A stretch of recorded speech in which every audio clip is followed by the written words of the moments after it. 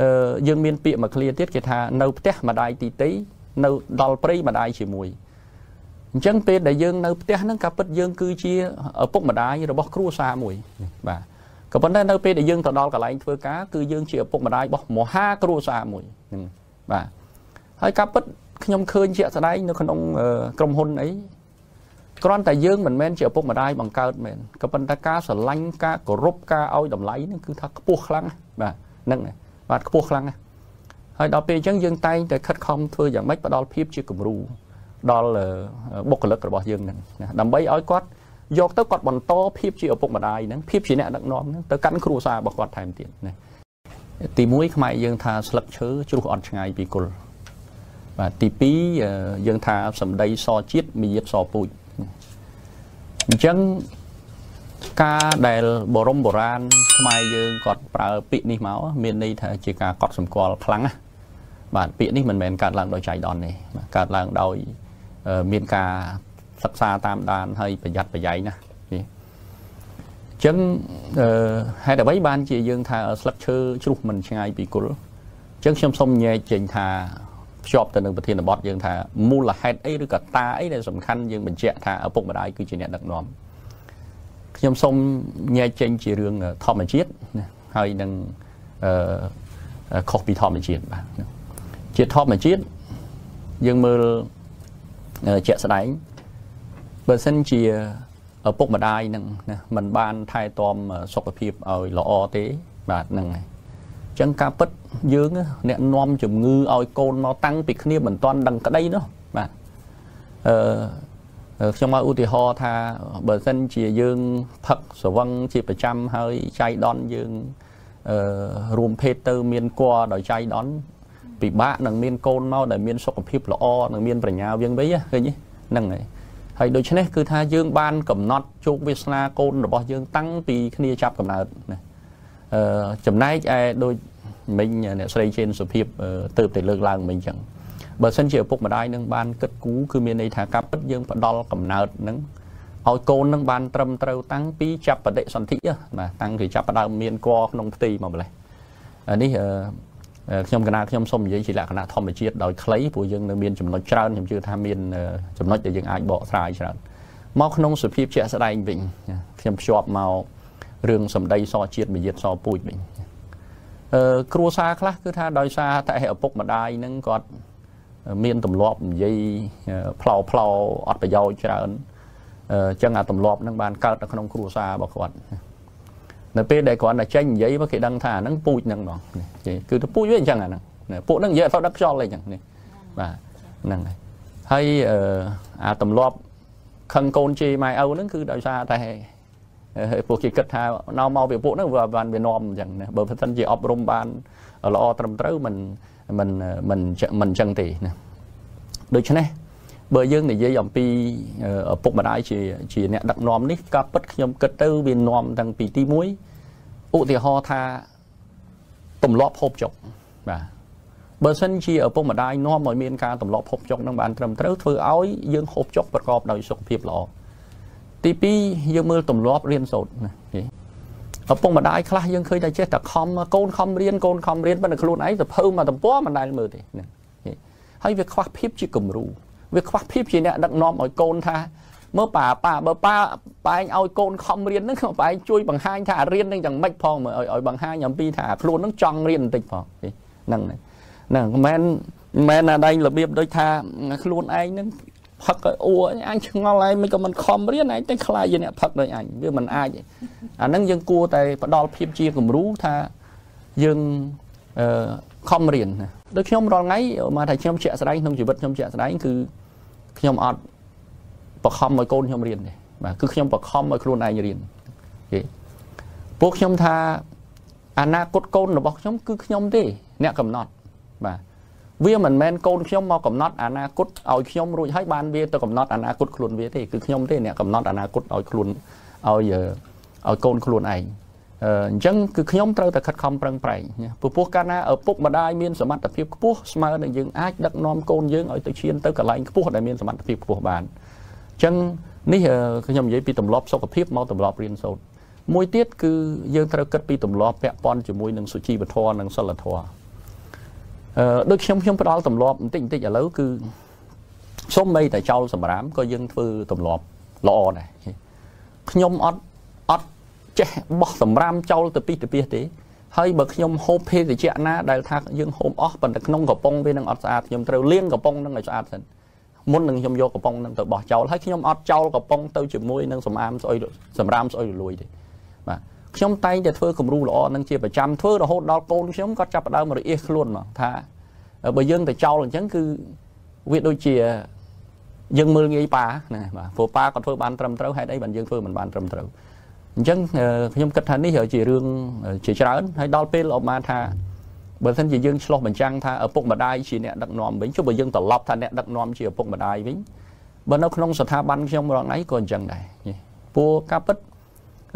យើងមានពាក្យមួយឃ្លាទៀតគេថានៅផ្ទះម្ដាយទីទីនៅដល់ព្រៃម្ដាយជាមួយអញ្ចឹងពេលដែលយើងនៅផ្ទះហ្នឹងការពិតយើងគឺជា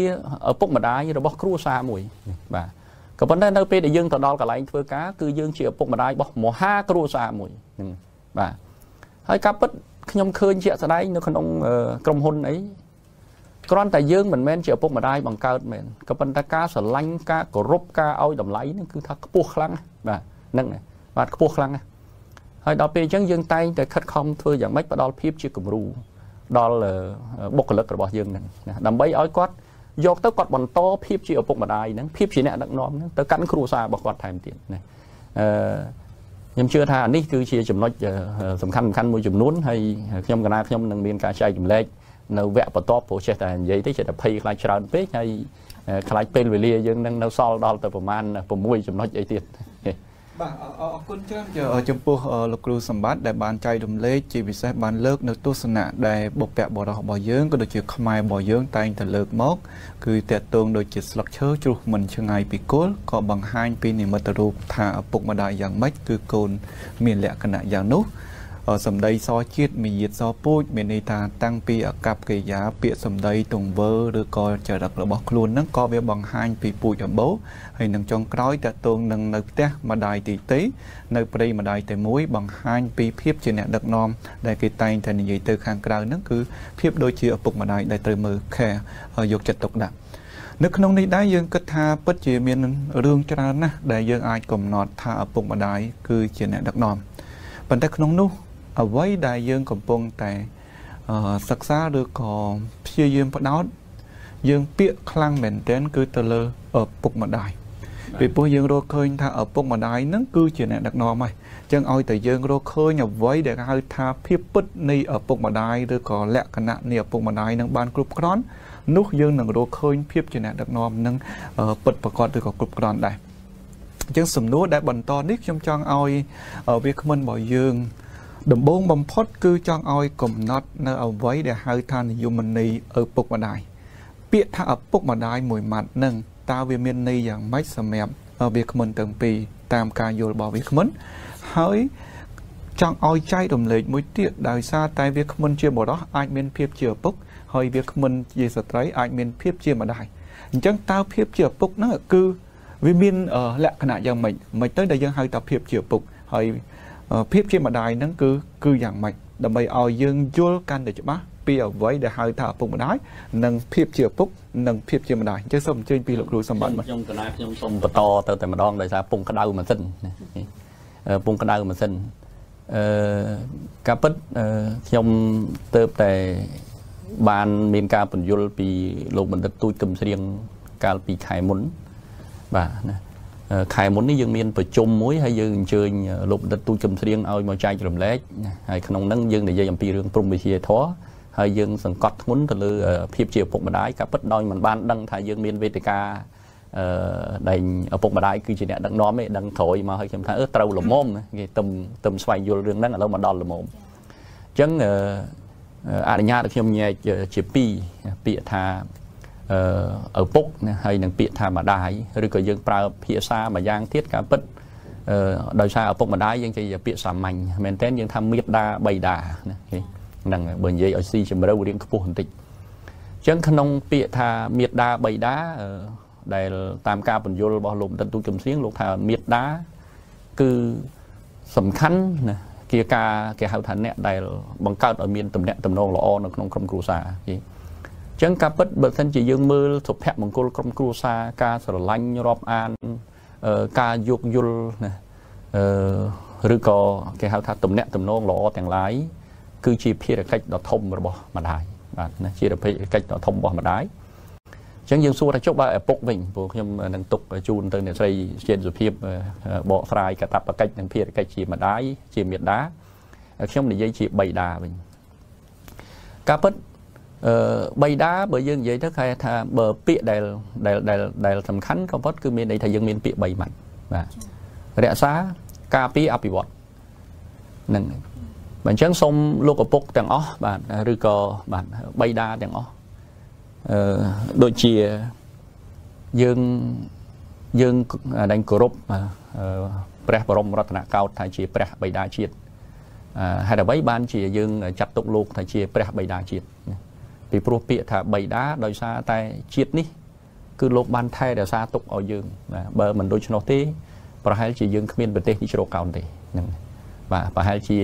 យើងអាចរស់នៅក្នុងប្រទេសមួយផ្សេងទៀតហើយឈ្មោះផ្សេងទៀតហ្នឹងហើយអញ្ចឹងគឺបានរក្សាការពារទុកទុកឲ្យយើងហើយបើមិនជាយើងមើលទៅក្នុងសង្គមបច្ចុប្បន្ននេះយើងអាចនិយាយបានថាជាសម័យកាលមួយដែល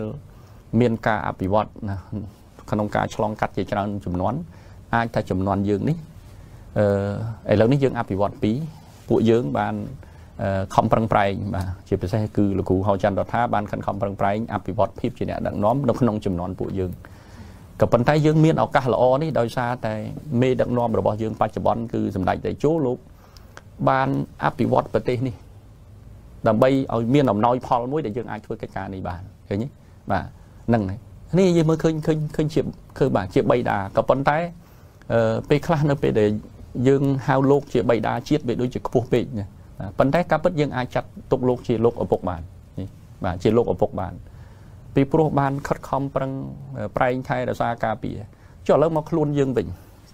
ក្នុងនាមជាឪពុកក្នុងនាមជាបៃតាវិញអញ្ចឹងសូមបងប្អូនដែលជាបរិសត្រូវយល់ណាកាលណាតែអត់បានបំពេញការថែរក្សាការពារគ្រួសារទេ បាទមានន័យថា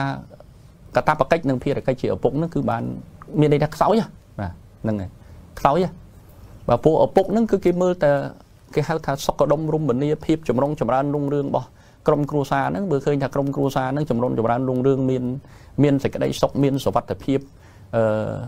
ដែលមានសុខភាពល្អមានហូបចុកគ្រប់គ្រាន់បាទមានមធ្យោបាយប្រើប្រាស់គ្រប់គ្រាន់មានផ្ទះ ជ្រកកោនត្រឹមត្រូវមាន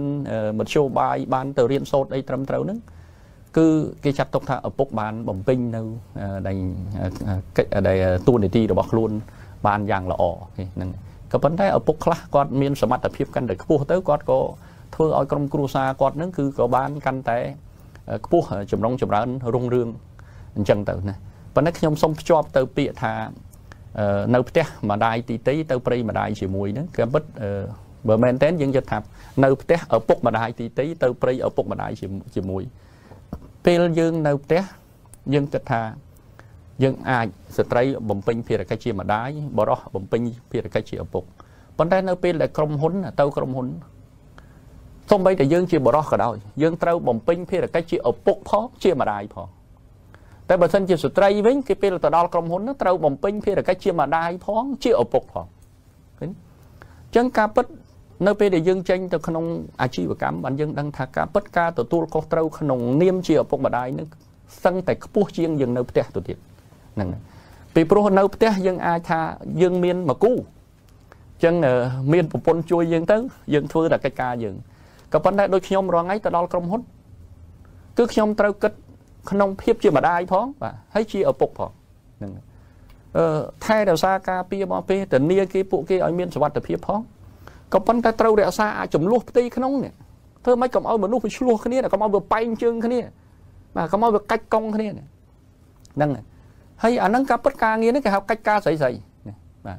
ប៉ុន្តែដល់ពេលយើងជាបរិសយើងក៏ត្រូវចេះធ្វើកិច្ចការហ្នឹងដែរហ្នឹងបានបានបានយើងអាចរក្សាអាលំនឹងរក្សាសេចក្តីសុខសុភមង្គលនៅក្នុងស្ថាប័នរបស់យើងបានណា អញ្ចឹងអានេះខ្ញុំអាចចែកជូនជាកលឹះខ្លីប៉ុណ្ណឹងពាក់ព័ន្ធជាមួយនឹងរឿងជាភាព